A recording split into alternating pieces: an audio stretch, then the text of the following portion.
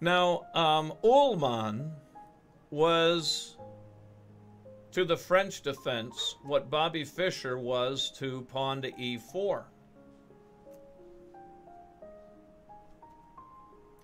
Yeah, he did not uh, do so well in the candidates. I think he favored he favored um, tournament play above match play. It seems. Very good res results in tournament play, but not so in, in match play. Um, I started to say Uhlmann is to the French defense what Bobby Fischer is to e4. And so in this game, you can see Robert James Fischer is white and Wolfgang Uhlmann is black, which means we know it's going to be a French defense because Bobby never played hardly anything but e4 except for maybe 20 games where he played c4. And Uhlmann, out of, um, I think it was 372 times that somebody played e4 against Uhlmann, 372 times he faced this move, and 363 of those 372, in other words, all but nine, he played e6. Seven of those times, I think, he played g6. So all but not, almost exclusively, just as Bobby was almost exclusively e4. Well, let's flip it around so we see it from Uhlmann's perspective. And there are several books written by Uhlmann on the French defense, by the way. And so, look those up. So e4, e6, d4. And we mentioned uh, this morning when we made our first attempt at today's Grandmaster that a lot of players like e6 whether the, their opponent plays e4 to start with or d4. Because a lot of times, if they play d4 and you play e6, then they'll play e4, and now you're in a French defense. Mike Leahy likes that. So, Mike Leahy finds it to be um, versatile for that reason, because many games that start out e4 or d4 end up in a French defense for him, and he's very familiar with it. So d4, d5, knight f3, and this is uh, the Winawer Tabia here with bishop b4. Advanced variation here. And knight to e7. And pawn to a3, bishop takes check, and b takes. Very normal setup. I mentioned this morning one of the drawbacks of the French defense is the bishop, the light squared bishop, the queen's bishop, takes a long time to get into the game. He's caged in many of the times. So c5, a4, knight b c6, knight f3, and bishop to d7, and queen to d2, and queen to a5. Now this move begs the move pawn to c4. I've played this move many times myself. And the whole idea is now you're just reinforcing black's cage, caging himself in.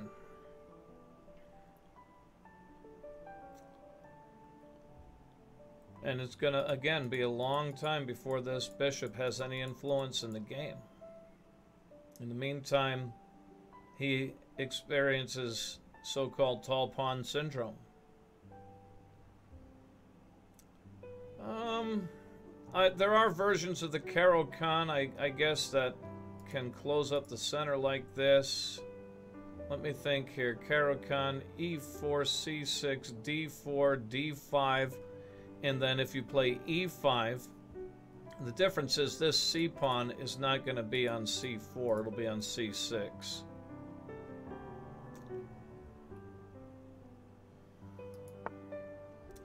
So now pawn to f6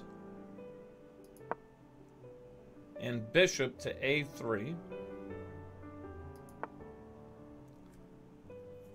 Knight to g6.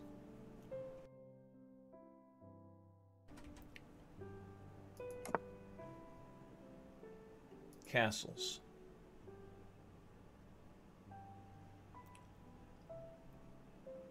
I guess my... Guess you can see that all right. I didn't I didn't change this setup on on this screen, so I'll have to do that later. Figure out how to change that. I can at least slide this over and up a bit.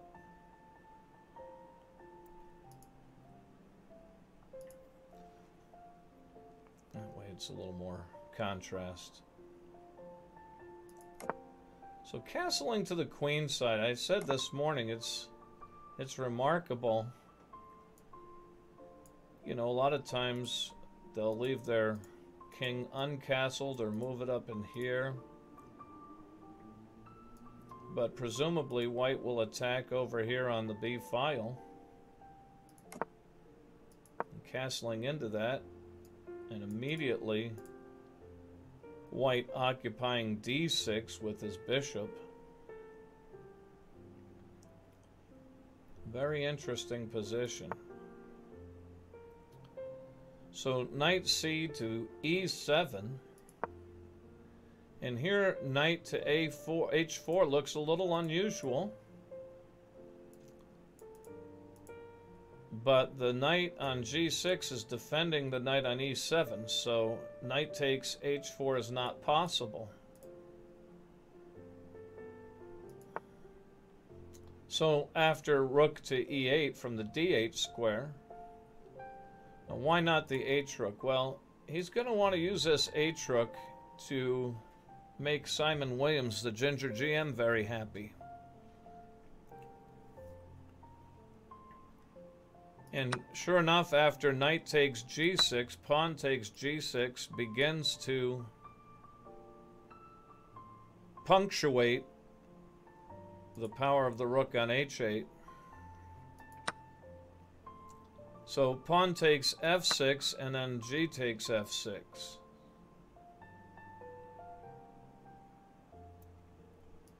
Now h3 to try to mitigate the influence of the rook on the h file.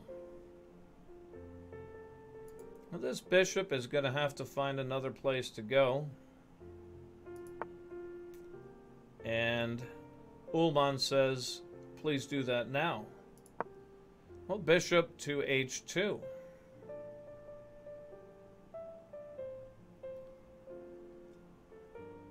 Likes the idea of having some influence here toward the king's side. And although his scope is otherwise limited, um, he wants to stay on that diagonal. Now my question is, can the diagonal be obstructed with an e-pawn push? Pawn to e4, uh, e5, defended by the f-pawn.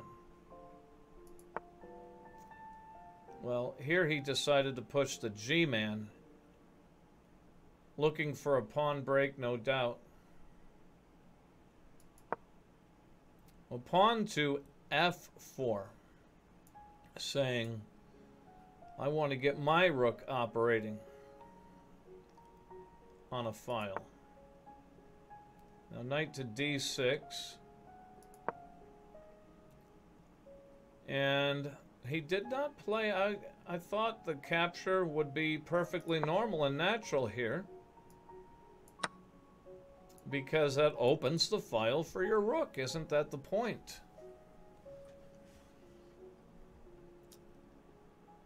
That was not played because he instead he played bishop to f3.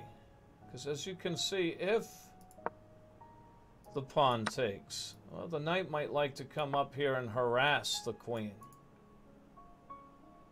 And now the queen's got to move. Also creates a super attack on c3. But he's also got to deal with this pawn, so he probably would not deploy that super attack. He'd probably take the g pawn once the queen moved. Well, in any case, that move wasn't played. Instead, bishop to f3 stops the knight from ever going to e4. And g4 is a very forcing move, forcing the h-file open. Okay, you can take it, but if you do, again, you're letting go of the e4. You could be asking for trouble. So you're asking for trouble either way. An open h-file would make me very nervous with my king over there. So f5 now. And g5. Now, so you can see this poor bishop on h2. Its influence has been totally erased. He might be rethinking having placed his bishop there. Now he's the one that's caged in by his own pawns. And it's questionable how he'll ever get out. The king certainly does not does not uh, cannot move to h1 and move into a pin. But if the king moves, the bishop is hanging. The bishop might like to come to g1, but how does he ever get there? Well, he's going to have to move the g-man, move his king, move his bishop. He's going to take three moves before he can ever get that bishop doing anything. And before that ever happens, well, we already see where this rook is coming. This is not going to be a pretty picture. Looks like he's going to have to move the pawn and then bring up a rook to defend on the second rank. Oh, no, instead he came this way. Okay, that, duh. Why didn't I see that to begin with? Why did I think he couldn't move there? Uh, in my mind, I still had my knight on the on the e4 square thinking he couldn't move there, I guess. I don't know where my brain was. But that was silly of me to think that. Alright, so queen e3, knight to e4, bishop takes knight, and pawn takes bishop. And now the king gets himself out of that little exposure. Rook from e7 to h7.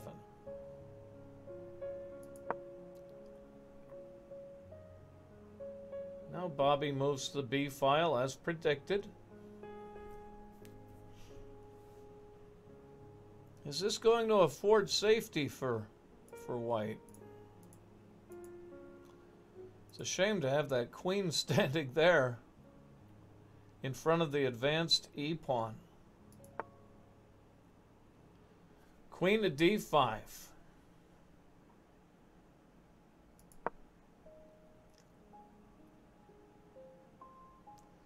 Queen to c1. And rook to h1. Wow. That's astonishing.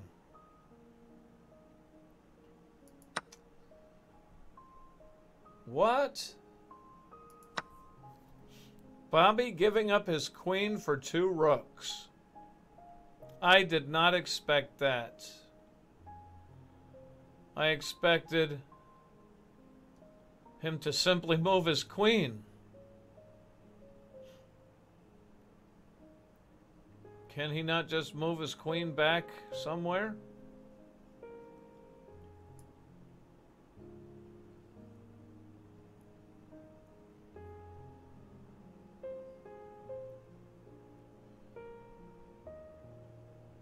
Of course, these two pawns.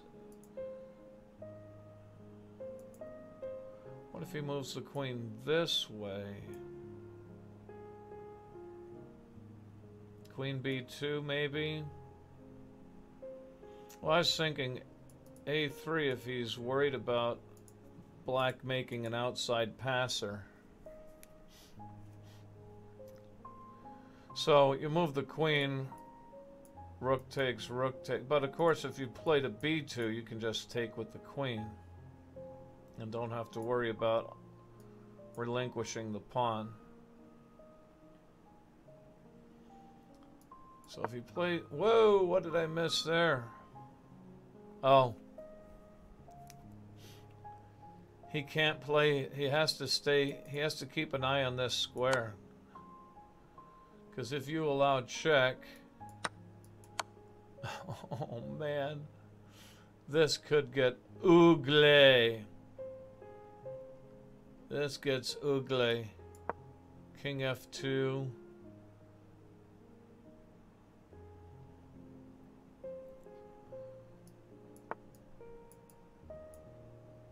Yeah, this is gonna, that's losing. You can't play queen. You have to keep the queen over here. Which I'm sure this move is still coming if he gives up his queen for two rooks. Well, let's see what happened. Takes.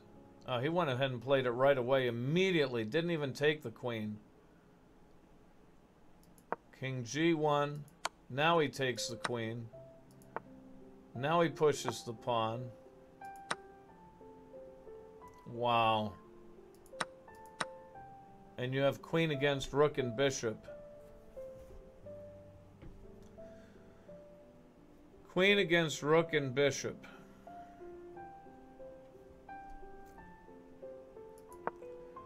Rook e1.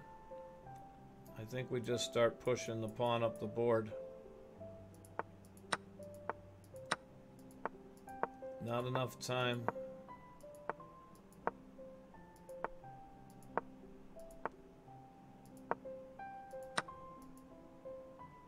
And Bobby resigned here.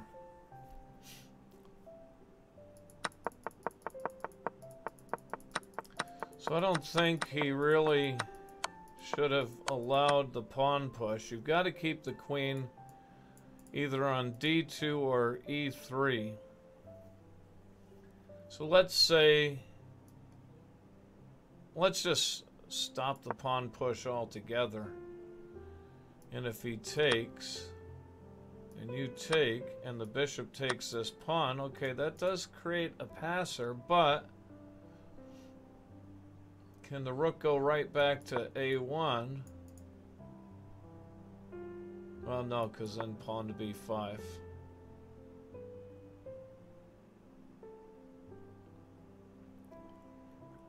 But this looks a little bit better than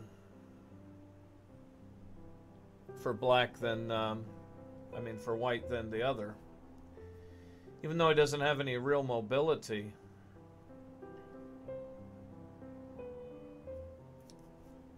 It's really awkward for black, uh, for white, I should say. He's he's got his pieces are stifled.